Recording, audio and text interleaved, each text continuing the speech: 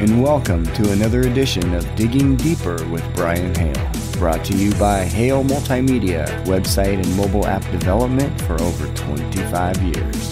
That's halemultimedia.com. Now listen in and join me online at diggingdeeper.us.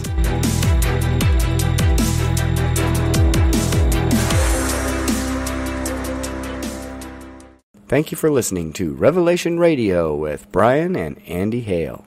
We are on Chapter 9 The Purpose Driven Life by Pastor Rick Warren. Great book to go through. It's 40 chapters, it's a great devotional. We read it at the beginning of our marriage for the first 40 days, one chapter a day. Mm-hmm. Uh, what we're doing on the radio and on our podcast here for you is breaking it down to one chapter a week. So we're on week number nine. And uh, week number eight was interesting. We got into our purpose number one. Our purpose number one is we're planned for God's pleasure. It's all about His pleasure. So we're going to continue right. on with more on that purpose number one, which is we were planned for God's pleasure. So this is chapter number two in that section, or nine in the book. So chapter nine, what makes God smile. But first, let's review. Number one, it's not about you. Mm. Number two, you are not an accident. Li- number three, living on purpose is the path to peace. Chapter four, life on earth is just a dress rehearsal. Five, life is a test and a trust. Chapter six, life is a temporary assignment. Chapter 7, it's all for Him. And 8, you were planned for God's pleasure. Aha. So I hope you like the fact that we're going through that review every week because that's what we actually did. Uh, when we were first married, we wrote down uh, one liners from each chapter and then we reviewed those. And so that's basically what we're doing here for you. And each week we'll get up to uh, one more and then we'll see on number 39 and 40 if you can remember each one of them 1 through 40. It's kind of like playing that game in the car around the campfire, right? Right. Name something that starts with an A. And B, then C. yeah. Let's do it. Name something starts with an A. A, a Christian, something in the Bible starts with an A. Abigail. Abigail's in the Bible? Yes. Okay, cool. Okay, B, uh, Bartholomew. Okay. That was one of the 12 disciples. That was really um, See, Christ. See, Christ. Okay. Oh, wait, we didn't do it though. So A is for. Oh, did I forget? Abigail. B is for Bartholomew. C is for Christ. And D is for David. Now you have to do each one. A is for Abigail. B is for Bartholomew. C is for Christ. D is for David. E is for Enoch. Nice, nice. See, so that how the that's how the game goes. So by the time we get to forty, that's what y'all have to do with each chapter. Now here we go with number nine. This is what makes God smile. This is a really cool chapter. This is, I think, one of my favorites. What makes God smile? Think about the that concept, that idea of the most important being and creator in the entire world the one who created the universe, mm-hmm. smiling on you personally. That's pretty deep. Yeah. So may the Lord smile on you. Numbers 625. Smile on me, your servant. Teach me the right way to live. Psalm 119, 135. The smile of God is the goal of your life. Since pleasing God is the first purpose of your life, your most important task is to discover how to do that. The Bible says, figure out what will please Christ and then do it. Fortunately, the Bible gives us a clear example of a life that gives pleasure to God. The man's name was Noah. In Noah's day, the entire world had become morally bankrupt. Everyone lived for their own pleasure, not God's. God couldn't find anyone on earth interested in pleasing him, so he was grieved and regretted making man. God became so disgusted with the human race that he considered wiping it out. But there was one man who made God smile. The Bible says Noah was a pleasure to the Lord. God said, This guy brings me pleasure. He makes me smile. I'll start over with his family. Because Noah brought pleasure to God, you and I are alive today. From his life, we learn the five acts of worship that make God smile. Oh my goodness. Can I say something? Yes. We could summarize that little intro as uh, four words. Thank God for Noah. right? Because of Noah. You and I are alive today. Uh, uh, weird, weird. Okay. That's pretty powerful right Mm-hmm. there. If you think you're the only one out there by yourself because so many people around you are putting you down and you just don't feel like you can stand on anything, have some hope because you know all- all God needed was one. From Noah's life, we learn the five acts of worship that made God smile. God smiles when we love Him supremely. Noah loved God more than anything else in the world, even when no one else did. The Bible tells us that for his entire life, Noah consistently followed God's will and enjoyed a close relationship with Him. This is what God wants most from you a relationship. It's the most astounding truth in the universe that our Creator wants to fellowship with us. God made you to love you, and He longs for you to love Him back. He says, I don't want your sacrifices, I want your love. I don't want your offerings, I want you to know me. Can you sense God's passion for you in this verse? God deeply loves you and desires your love in return. He longs for you to know Him and spend time with Him. This is why learning to love God and be loved by Him should be the greatest objective of your life. Nothing else comes close in importance. Jesus called it the greatest commandment. He said, Love the Lord your God with all your heart, and with all your soul, and with all your mind. This is the first and greatest commandment. God smiles when we trust Him completely. The second reason Noah pleased God was that he trusted God, even when it didn't make sense. The Bible says, by faith, Noah built a ship in the middle of dry land. He was warned about something he couldn't see and acted on what he was told. As a result, Noah became intimate with God. Imagine this scene. One day, God comes to Noah and says, I'm disappointed in the human beings.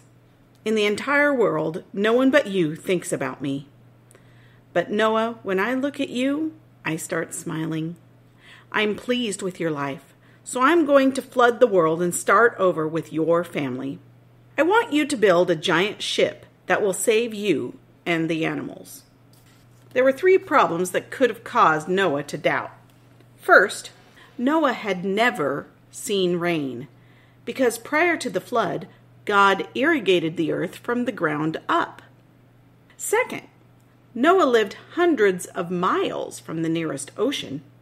Even if he could learn to build a ship, how would he get it to the water? Third, there was the problem of rounding up all the animals and then caring for them. But Noah didn't complain or make excuses. He trusted God completely, and that made God smile. Trusting God completely means having faith that He knows what is best for your life. You expect Him to keep His promises, help you with problems, and do the impossible when necessary. The Bible says He takes pleasure in those that honor Him and those who trust in His constant love. It took Noah 120 years to build the ark.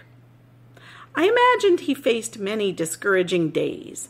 With no sign of rain year after year, he was ruthlessly criticized as a crazy man who thinks God speaks to him. I imagine Noah's children were often embarrassed by the giant ship being built in their front yard.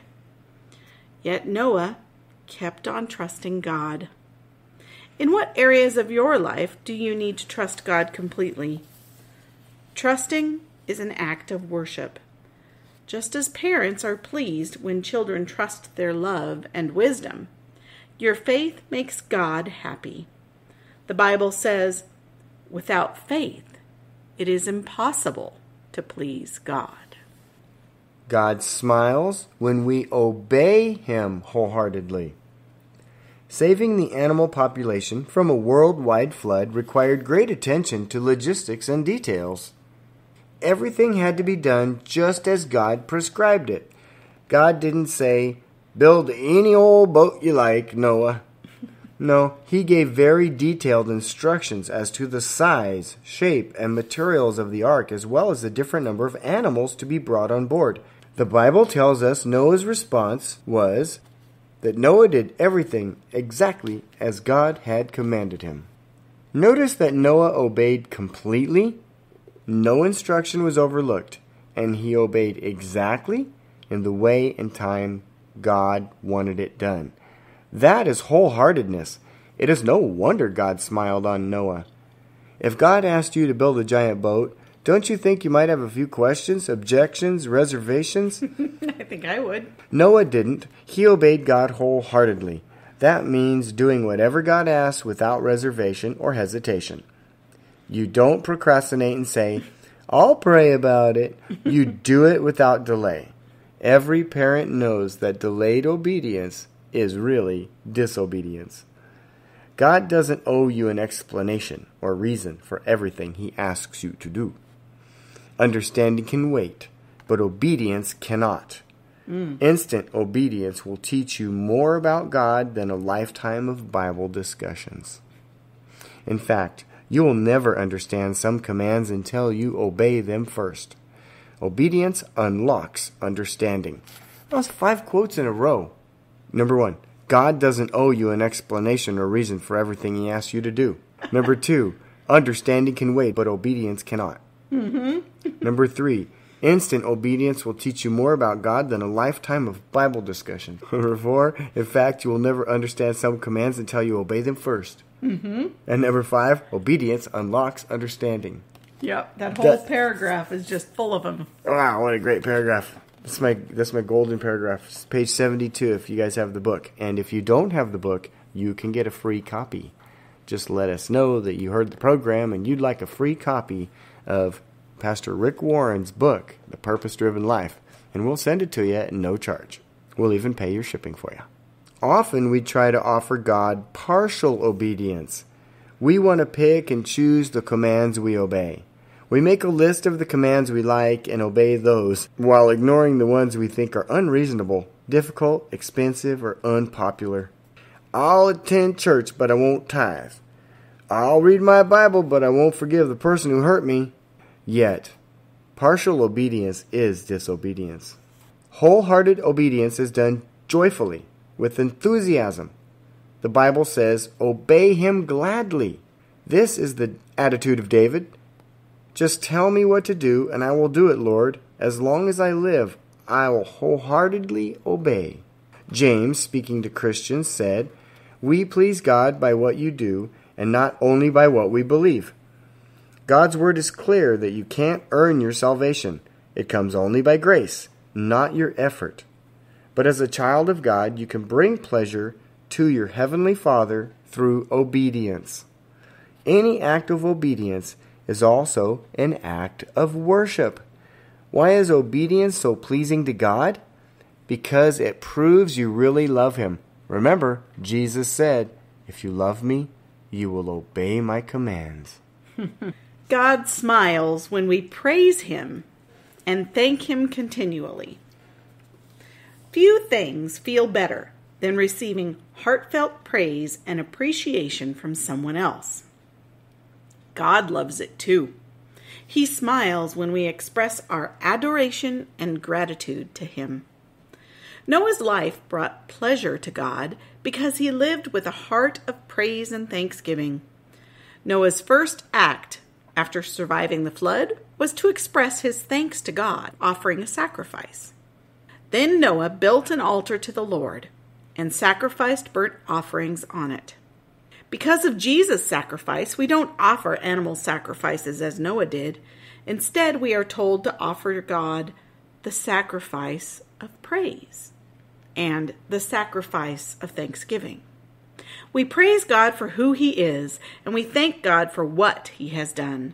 David said, I will praise God's name in song and glorify Him with thanksgiving. This will please the Lord. An amazing thing happens when we offer praise and thanksgiving to God. When we give God enjoyment, our own hearts are filled with joy. My mother loved to cook for me. Even after I married Kay, when we would visit my parents, Mom prepared incredible home cooked feasts. One of her great pleasures in life was watching us kids eat and enjoy what we, she prepared. The more we enjoyed eating it, the more enjoyment it gave her. But we also enjoyed pleasing Mom by expressing our enjoyment of her meal. It worked both ways. As I would eat the great meal, I would rave about it and praise my mother.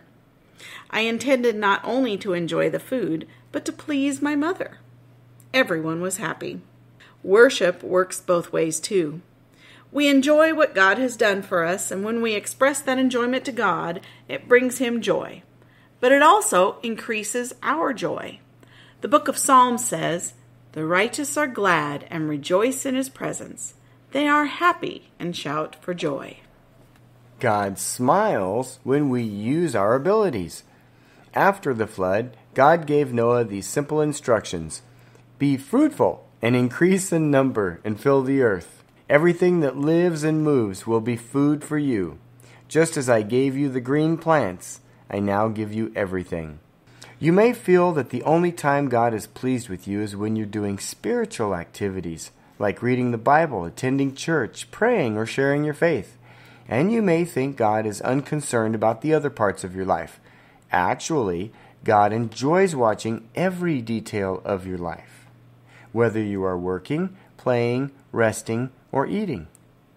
He doesn't miss a single move you make. The Bible tells us the steps of the godly are directed by the Lord.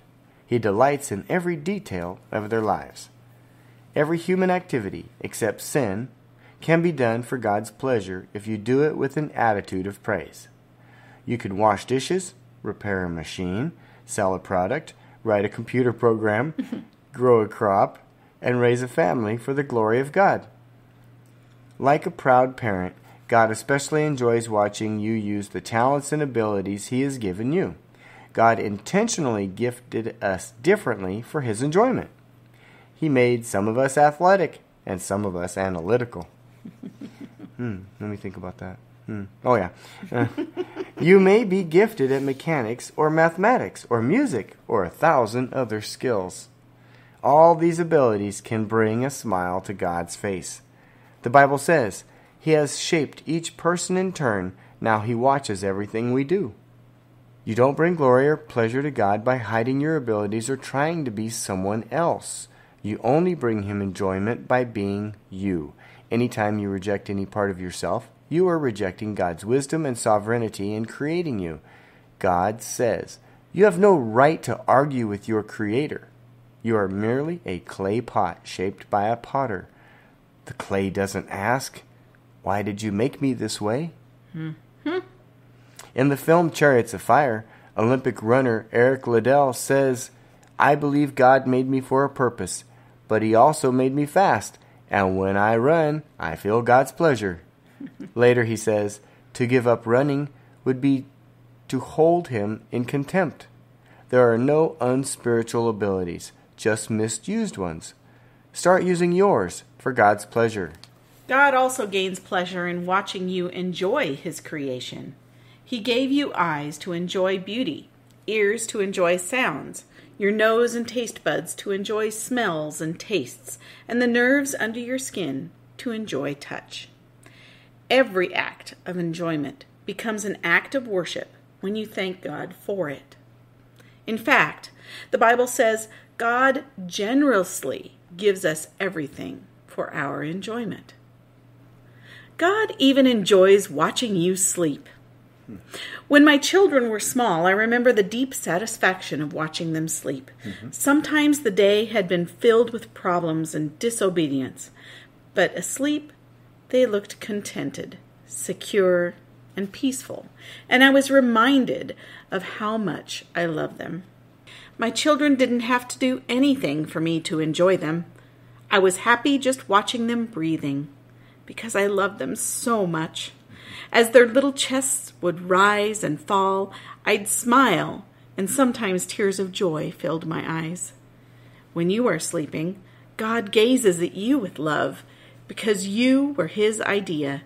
He loves you as if you were the only person on earth. Parents do not require their children to be perfect or even mature in order to enjoy them.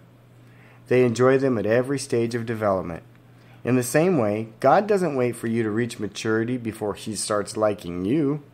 He loves and enjoys you at every stage of your spiritual development. You may have had unpleasable teachers or parents as you were growing up. Please don't assume God feels that way about you. He knows you are incapable of being perfect or sinless.